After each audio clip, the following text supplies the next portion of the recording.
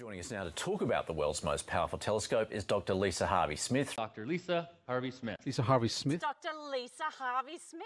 When I go to a school, when I go to a public lecture and, and I meet people who aren't involved in astronomy but are just so enthusiastic, it's such a rewarding buzz. And when I get to inspire young people who then write to me afterwards and say, You've really inspired me, you've, you've, you've made me want to study astronomy at university, I just think that's incredibly rewarding and I, I love it.